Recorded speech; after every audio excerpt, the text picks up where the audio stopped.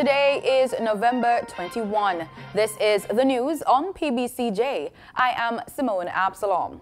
Health and Wellness Minister Dr. Christopher Tufton plans to spend more than $100 million on accident and emergencies island-wide to boost customer service and ease tensions at hospitals.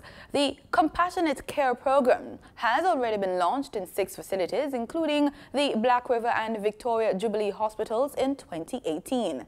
In a media interview, Dr. Tufton said that the program includes customer service training, it also includes enhancing the quality of wait, so the aesthetics of the wait environment, more comfort in terms of seating and bathroom access will be improved. The decision was revealed following a meeting with the executive of the Jamaica Medical Doctors Association this week, who have expressed concerns about verbal and physical attacks on the frontline staff by angry patients. As of December 16, persons will be able to access First 1000 Days app, an intervention for changing negative parenting behaviors to achieve positive outcomes for children. The targeted audience includes parents and caregivers. The Early Childhood Commission has launched the app and it's available on the iOS and Google Play operating systems. The first 1000 Days app is being rolled out on a phased basis. In the first phase, the app will cover pregnancy, infancy and toddlerhood, age 0 to 2. The second phase will cover the preschool years, age 3 to 5, and the third phase will cover primary years, age 6 to 8. The app is free of cost. The United Nations Children's Fund, UNICEF, is concerned about the scope and impact of violence against Jamaica's children. Country Representative for UNICEF Jamaica, Mariko Kagoshima, when addressing Parliament this week, said they are alarmed by the rate at which children are being murdered. We are very alarmed by the rate at which children are being murdered. In 2018, 46 children were killed. From the start of 2019 to 14th of November, 41 children were murdered. This is beyond tragic. We are also very concerned that one out of four students aged 13 to 15 are bullied at school. And we are particularly concerned about two of the most widespread forms of violence against Jamaican children, violent discipline and sexual violence. Her address to Parliament marked the 30th anniversary of the CRC, adopted by some 70 heads of government on November 20, 1989. Kagoshima noted that violent discipline, which includes both physical and psychological punishment, affects 8 to 10 children across the country. She said that UNICEF recognizes the need for children to be disciplined, nonviolent methods should be administered. UNICEF recognizes the need for children to be guided and disciplined.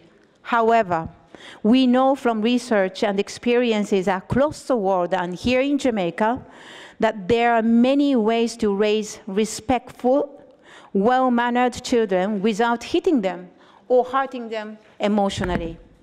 In the meantime, the UNICEF official said the organization remains distressed by the prevalence of sexual violence against children. Kagoshima said one in four Jamaican adolescents experience sexual violence at some point in life. Boys are also violated. UNICEF is also distressed by the prevalence of sexual violence against children. One in four, one in four Jamaican adolescent girls have experienced sexual violence in their lifetime. Boys are also being violated. We have heard too many horrific stories of children being sexually harassed, molested, molested, assaulted, and raped, almost always at the hands of people they know and trust, not by strangers. Sexual violence happens far too often, affecting far too many children for it not to be treated as an urgent national priority.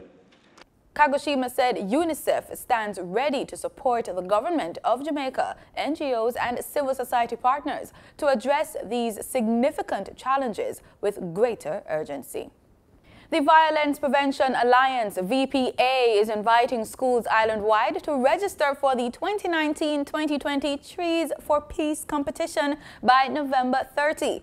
To participate in this competition, schools are encouraged to share a picture of the planned area that will be converted into its Peace Garden, along with a registration form via email to vpajamaica at gmail.com. Registration forms can also be accessed on the VPA website at www.vpajamaica.org. UTech President Professor Stephen Vasciannie is the meeting office. In a statement Wednesday afternoon, the university announced that Professor Vasciannie has indicated that for a personal and professional reason, he will not renew his contract when it expires on December 31. However, Pro-Chancellor Richard Powell said Vasciannie has offered to extend his tenure to support the transitional arrangements for his succession. The Bureau of Standards BSJ and the National Compliance and Regulatory Authority, both agencies of the Ministry of Industry, Commerce, Agriculture and Fisheries, have developed three standards for the liquefied petroleum gas industry sector. These standards are the JS 41 2014 inspection, retesting and use of transportable gas, JS 31 2014, the repair and rebuilding of welded steel cylinders for containing liquefied petroleum gases, and the JS 25 2010, transportable gas containers. The ministry said the standards were developed in an effort to ensure the health and safety of the consuming public and ensuring that all key stakeholders in the industry are aware of the requirements for compliance with relevant standards. Chief Technical Director in the ministry, Monique Gibbs, spoke of this at the opening ceremony of the Awareness and Engagement session for the LPG monitoring program at the BSJ Multipurpose Facility in Kingston on Wednesday. Motorists should see a decrease at the pumps in the prices of gasoline and diesel effective Thursday, November 21. That's according to the latest ex-refinery costs from Petrojam. 80 and 90 octane gasoline will be sold for $129.41 and $132.25 per liter respectively, down by 15 cents each.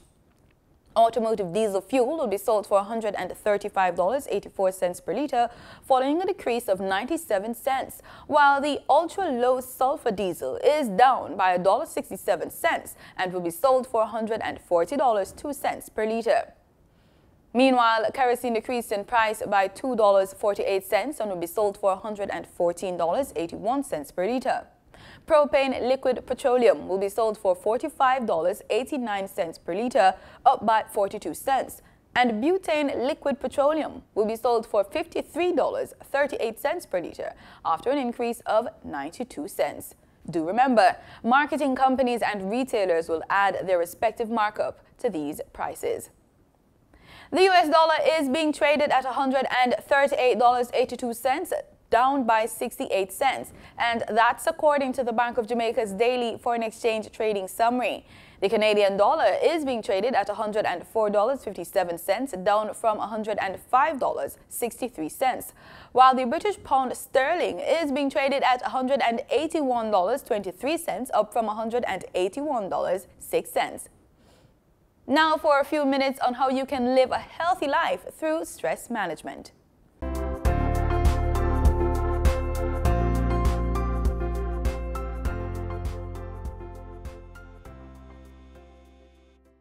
Sometimes there is no identifiable cause mental health issues such as depression or an accumulated sense of frustration and anxiety can make some people feel stressed more easily than others. We asked wellness practitioner Andrea Bryan, how can one know they are stressed out? Well, becoming irritable, intolerable, uh, headaches, chest pains, that's another way. Not being able to eat, loss of appetite. That's another way that you can identify that you're stressed.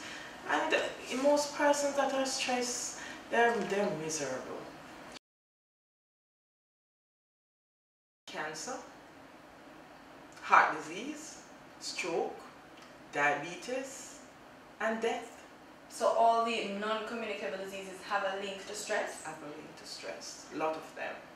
Yeah, different phases of depression, right? So it's not that someone will just get up and be totally depressed today.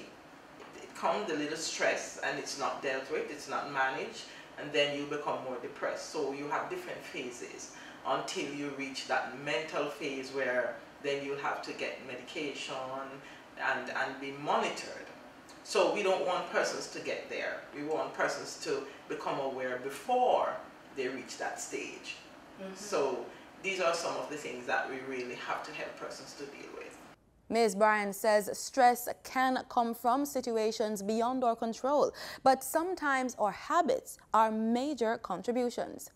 A lot of us, we leave work at say 6 o'clock or 5, you know, in the traffic. By the time we get home, it's a bit late, 7, 8 o'clock, and then we're having the heavy meal.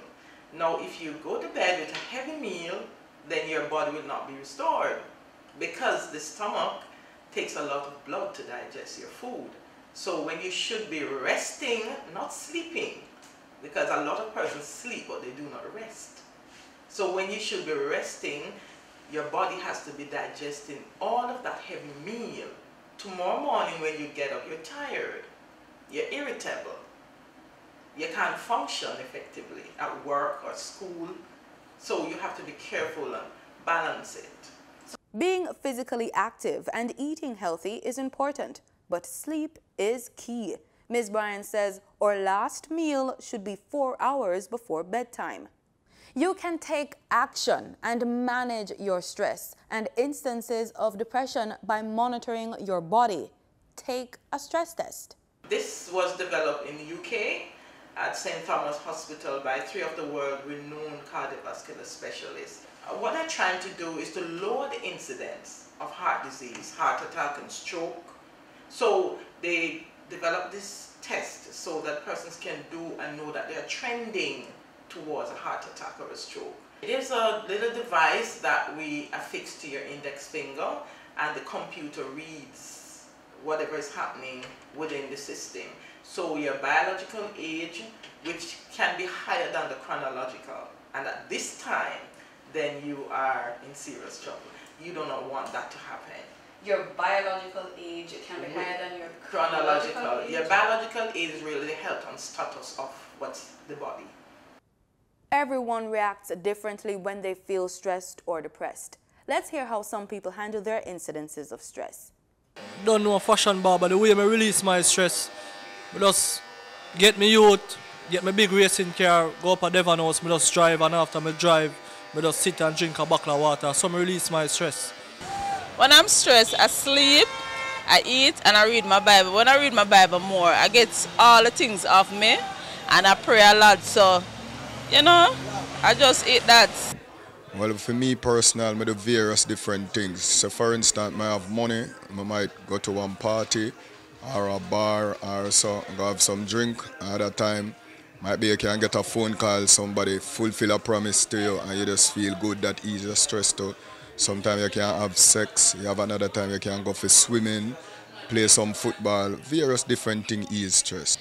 Well, when I do stress, I smoke, I drink, I party, I enjoy myself for free up that stress something there. And if I drink and smoke and them something there, the stress not go free. I enjoy myself in my house by listening music, free up my mind think. You understand what I say? There's something there.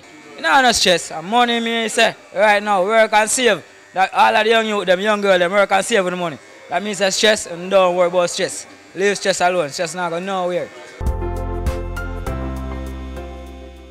Massage therapy can be used for the treatment of mental and emotional problems, including stress, anxiety, and depression also considered a relaxation technique, massage therapy may be able to help reduce tension and elicit feelings of calm and deep relaxation.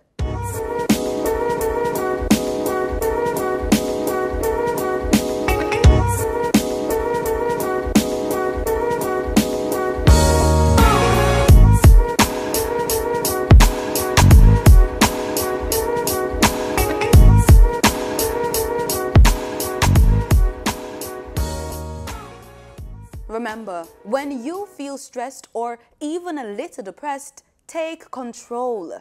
Avoid caffeine, alcohol, and nicotine. Indulge in physical activity. Get more sleep. Try relaxation techniques. Talk to someone. Keep a stress diary and manage your time.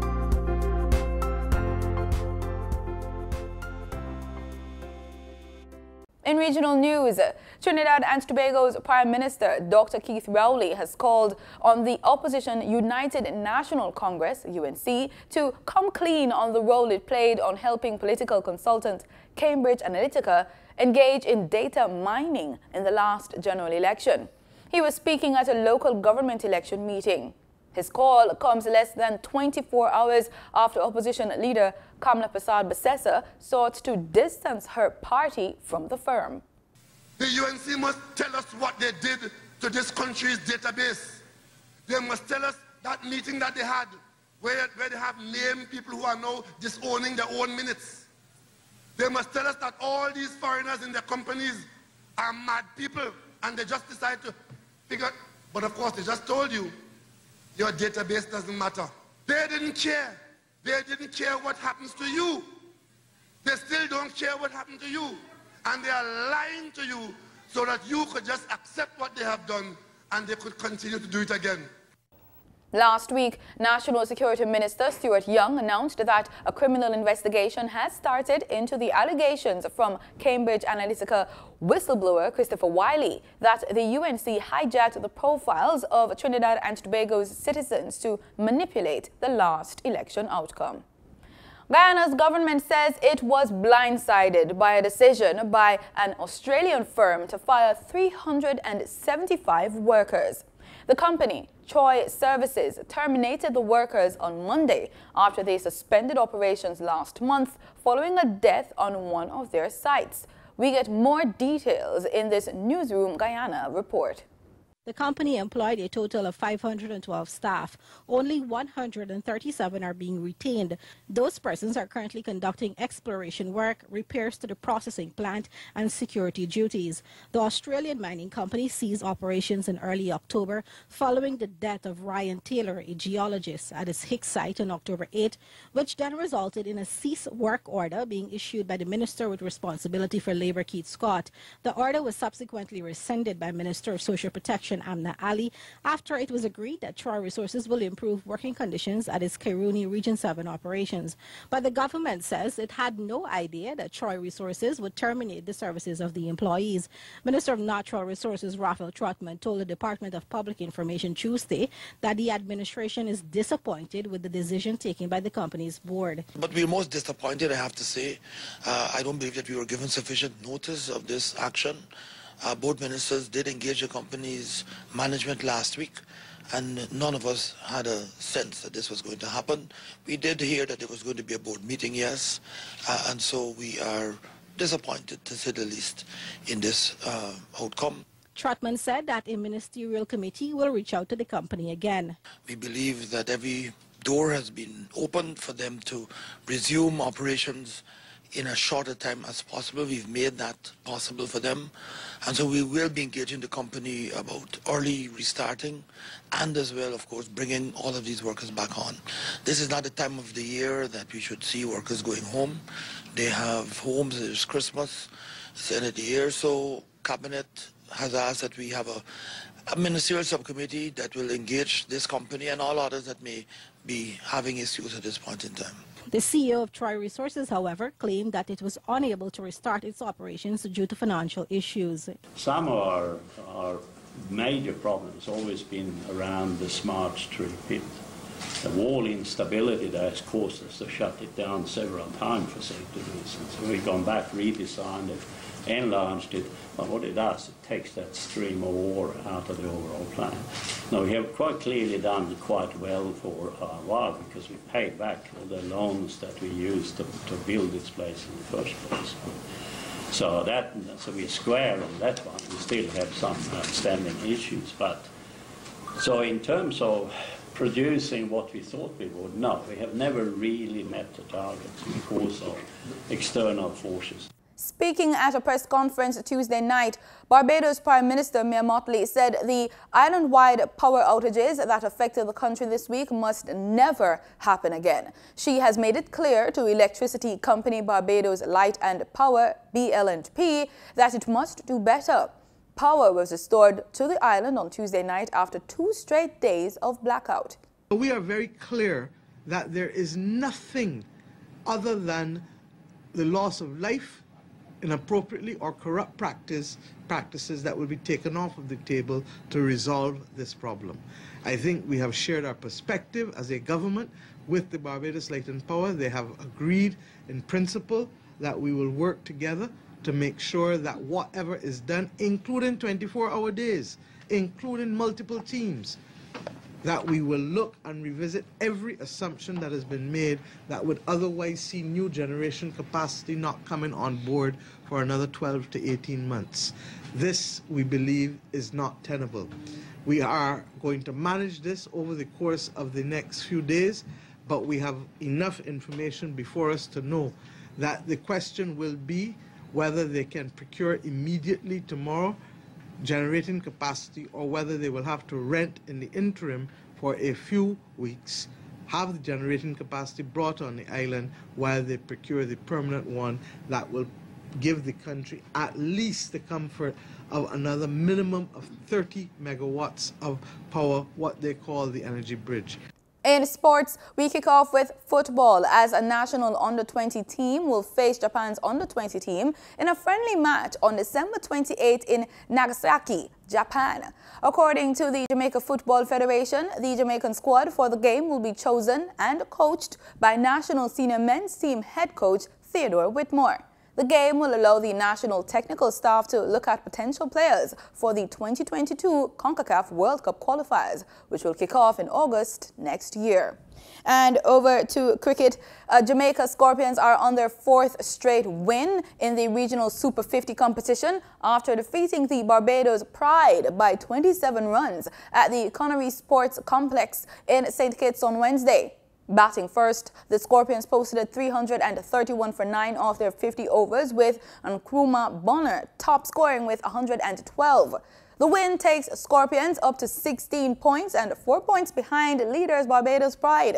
The Scorpions will be searching for their fifth consecutive win as they face the CCC Marooners on Friday. The Scorpions will end the group stages on Sunday against the Leeward Islands Hurricanes. And that's the news on PBCJ. Thanks so much for watching.